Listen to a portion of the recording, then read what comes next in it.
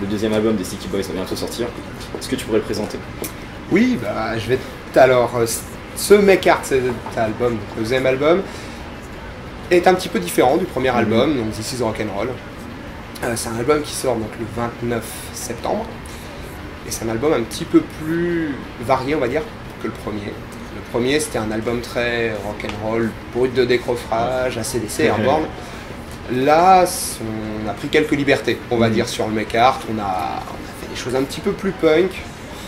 Il y a toujours du hard rock, hein, quand Ouais. même, attention, hein, faut, faut pas l'oublier. Ouais, mais euh, on va dire que c'est un album un petit peu plus varié, euh, hard punk, on va dire. Hmm. Et donc, euh, comment s'est déroulé l'enregistrement? Alors, l'enregistrement s'est déroulé en février dernier. On a mis à peu près 4-5 mois à composer tous les morceaux. A composés jusque 3 jours avant d'entrer en studio. Et ensuite, on est- donc on s'est enfermé en studio pendant à peu près un mois. Donc, euh, l'enregistrement, euh, on a commencé les prises de batterie, puis les prises basses, les guitares, les voix, et ensuite le mix master. Ça nous a pris à peu près un mois pour faire tout ça.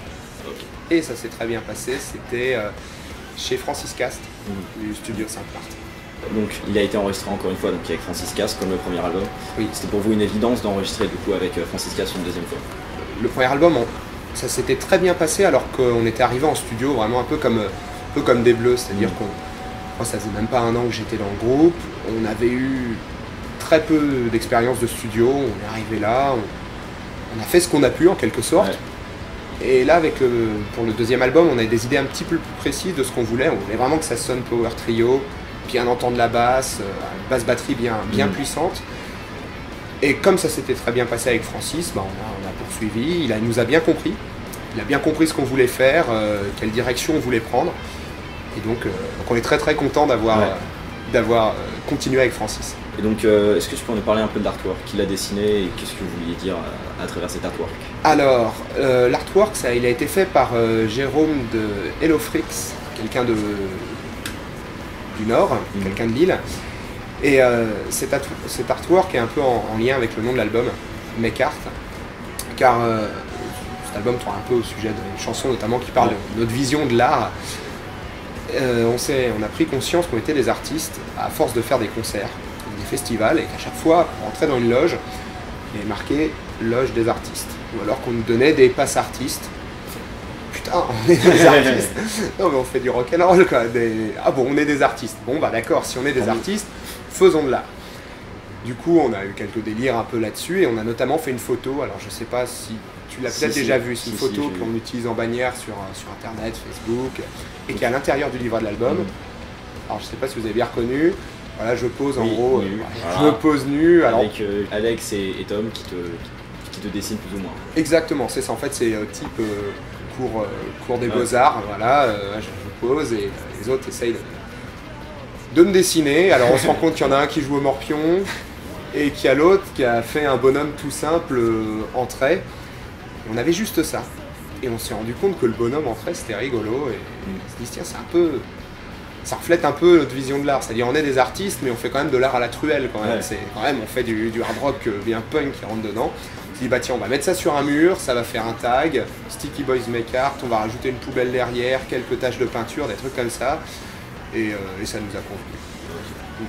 Quelle différence tu ferais entre cet album et le précédent Alors, déjà, ce qui frappe, c'est le son. Ouais. Euh, plus clair. Comme je te disais, basse Ouais. un, peu, un peu plus présente. Plus punk aussi. un peu plus punk, voilà. Après, dans les compositions, c'est ça, on s'est permis de faire des morceaux euh, un peu plus rapides, plus punk. Sur un morceau, on a même rajouté de l'orgue. C'est vraiment là, on, s'est donné aucune limite. C'est surtout ça en fait. C'est le fait que le premier, on était assez cantonné à un style qui était quand même très hard rock classique. Là, on, s'est donné plus de liberté.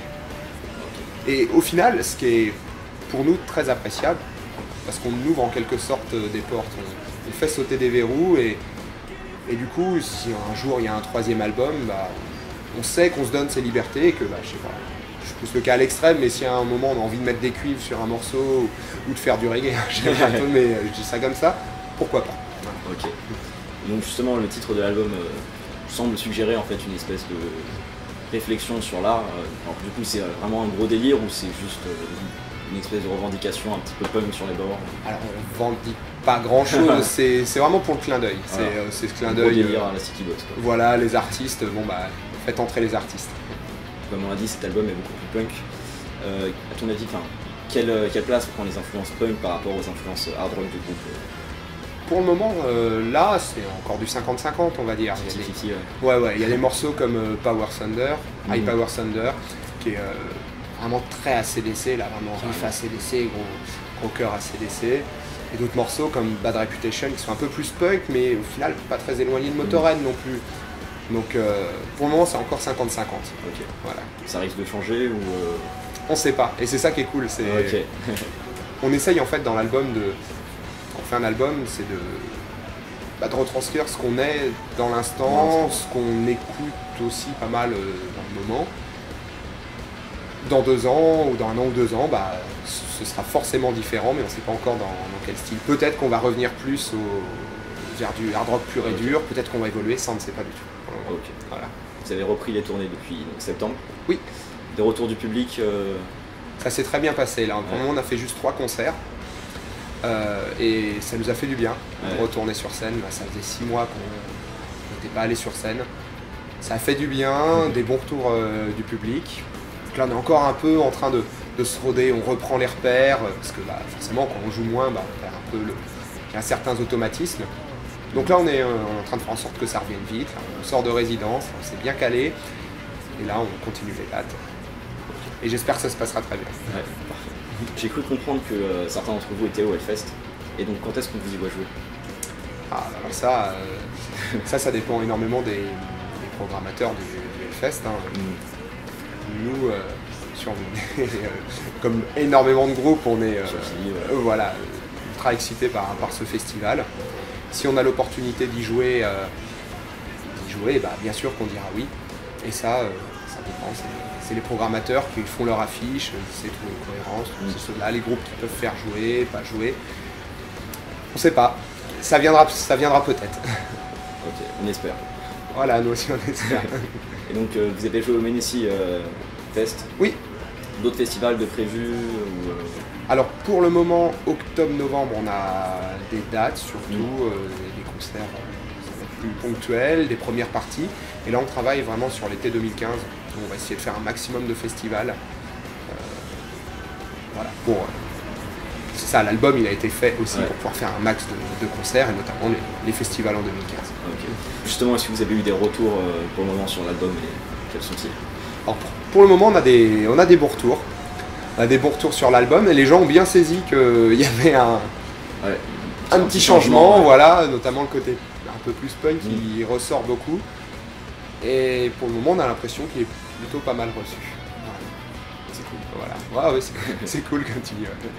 Vous allez jouer d'ailleurs en première partie de Gotthard à Lille, c'est ça? Oui, allez. Comment vous avez été, enfin, comment vous avez été contacté pour cette date euh, On a été contacté par euh, la production de, de la date qui nous a, qui nous a proposé tout simplement la, la première partie. Donc là, ça, ça se refuse pas. ouais, voilà.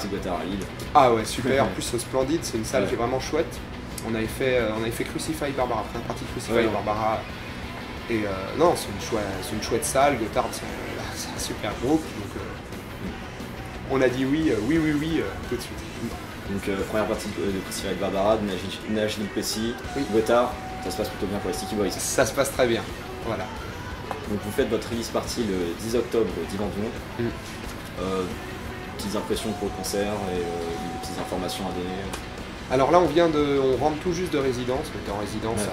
à, à Nantes là, donc pendant 4 jours. On a mis en place euh, bah, notre spectacle avec, euh, avec les lumières, euh, voilà.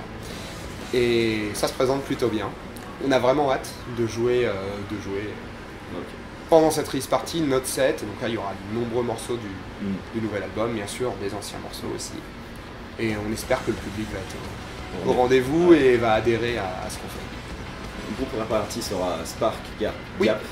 C'est vous qui les avez choisis ou, euh, Oui, c'est ça, on les, on Ok. les a choisis. On avait déjà joué avec eux et avec Bukowski aussi. Mm. Et donc ce sont des gars avec qui on s'entend très très bien. Et voilà, et ça nous fait vraiment euh, très plaisir de, de faire cette date avec eux. Juste pour le délire, euh, la dernière fois j'avais demandé à, à Alex s'il avait pas quelques petites anecdotes de concert. T'en aurais, toi- t'en aurais toi des petites anecdotes comme ça pour partager Anecdote de concert. Ah, je suis pas très fort en anecdote. moi. Euh, si, y a- on a fait une chanson sur le deuxième album, The Future, euh, Future in Your Hands, qui, qui est en rapport en fait à des, avec euh, ce qui nous arrive parfois en concert. C'est tu fais ton concert de rock and roll et là tu te rends compte que dans la salle il y a des enfants, des enfants qui n'ont même pas 10 ans. Et notamment dans le, quand on joue dans le Nord, il y a toujours euh, deux enfants qui viennent, Sophie et son petit frère. On les voit euh, toujours au- aux dates des Sticky Boys, ils sont là au premier rang avec le t-shirt alors qui est beaucoup trop grand pour eux, hein, qui leur arrive au-dessus des genoux, et ils font les doigts du démon. euh, et euh, du coup on s'est dit mais c'est quand même fou quoi, ils viennent voir nos concerts comme s'ils allaient à Euro Disney voir Mickey, et ils, ont, ils ont la, la banane et les étoiles dans les yeux. Et on s'est dit bon, on va, on va leur faire une chanson. Et du coup on a fait la chanson euh, qui est sur le deuxième album, The Future in Your Hands, qui parle de, bah, de ces enfants qui vont, euh, qui vont voir le rock'n'roll et qui sont en quelque sorte un peu la, la relève. La relève. Exactement. Ok. Est-ce que tu auras un petit message pour nos lecteurs, euh, un truc à dire sur les Sticky Boys pour donner envie, de, pour donner envie à nos lecteurs d'aller au concert, d'acheter l'album, de suivre le groupe? Euh, Lâche-toi. Salut lecteurs, lectrices. Euh, on est les Sticky Boys, on est là pour le rock'n'roll. Donc si tu as envie de te prendre une bonne dose de rock'n'roll dans ta face, c'est le 10 octobre au Divan du Monde. C'est avec plaisir qu'on qu'on y jouera et que peut-être on boira un verre euh, avec toi euh, À la santé du rock. à la sortie du concert, à la santé du rock'n'roll et euh, c'est ça, pour le rock'n'roll.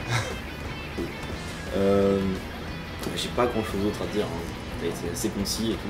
Donc est-ce qu'il y aurait une question que tu aurais aimé que je te pose ou euh, zappé Question que j'aurais aimé que tu me poses. Euh, ah non, t'as dit, t'as, vraiment, t'as, t'as fait le tour de la question. Euh... Ah, je t'avoue, j'en ai pas qui, qui me viennent.